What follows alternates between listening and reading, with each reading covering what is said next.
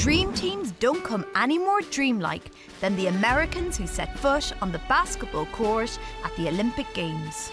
The US dominance was already well established by 1992 when they stepped up a gear and sent the professionals along to the party.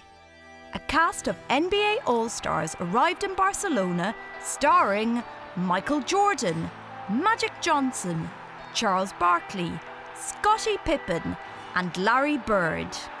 In 92 and 96, they played 16 games, scored 1,754 points, and no one got within 22 points of them.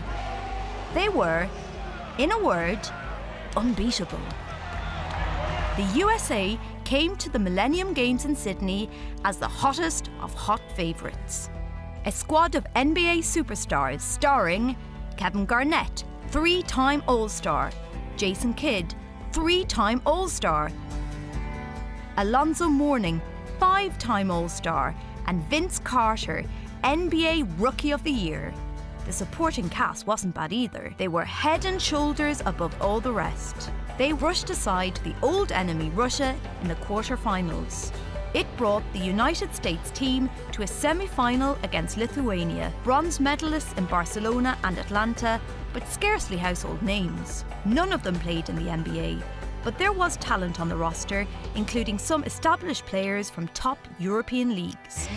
Sarunas Jasikevičius of FC Barcelona, Saulius Štombergas of Tau Ceramica, and Gintaras Einikis of CSKA Moscow. But their one true superstar, Arvydas Sabonis, had retired. Surely they were no match for the Dream Team. Nearly 15,000 supporters were in the Sydney Superdome for the semi finals. The first half went as expected. Lithuania struggled. The United States scored at will. It was business as usual. A three pointer from Jason Kidd on the buzzer took them to half time, with the United States leading 48 36. The second half, however, was a different story. The Lithuanian team re emerged, reinvented. It was game on.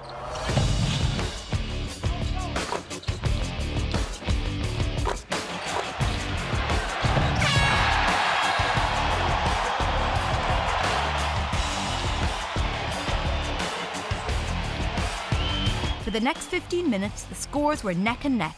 Lithuania scored, the USA scored. Amazingly, the game was in the balance deep in the fourth quarter. With only 96 seconds left on the clock, Alonzo Mourning committed a foul, ending his game and giving Lithuania two free throws, with the USA about to throw it away. Sharunas Jasikevičius hadn't missed from the line and wouldn't start now. And Carter drives, he goes up and is fouled. Basket does not go in. The foul is going to be on Štombergas. Carter will shoot two with a chance to put the U.S. in the lead. Second shot now, 80-80, and it's missed. It's tipped and loose ball falling down. Everyone's diving. A Lithuania have it. It was all square going into the final minute. The clock continued to run down and the drama only became more frantic. Lithuania missed a three pointer but got the foul. It's a chance for Lithuania to take control of this game. The upset could be on. But Ramūnas Šiškauskas missed two out of three from the line.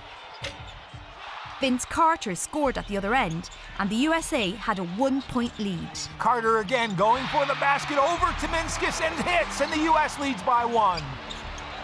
Full court pressure by the U.S. Garnett blocks the ball out of bounds and he's fouled. And the rush for the loose ball. Timinskas, I think, got the foul. Garnett will shoot two.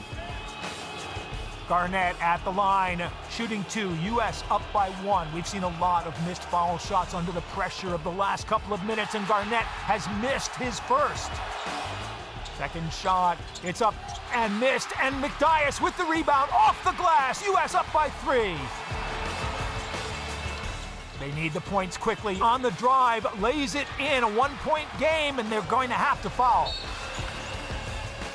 U.S. up by two, still five seconds. This jump ball is crucial. McDyess has it, but there's a whistle. He's called for jumping too soon. Lithuania get the ball. Just time for one shot now. Can the Lithuanians with a three beat the Dream Team? Sharunas Jasikevičius had destiny in his hands as he sprinted full court and threw for three. And game's on the line, shots up, and he has missed it. Heartbreaking for Lithuania. The U.S. has dodged a bullet. By a matter of centimetres, the Dream Team had avoided infamy. They'd kept their unbeaten record by the skin of their teeth. But they'd been rocked. The Lithuanians were shell shocked. They left the arena forced to contemplate what might have been. They went through to the bronze medal match and beat Australia to stand on the podium.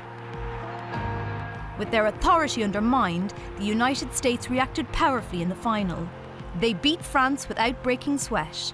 Another gold medal for the Dream Team. Lithuania, however, became the most heroic of heroic losers. A few agonising centimetres from causing the biggest upset of all time in the Olympic Games.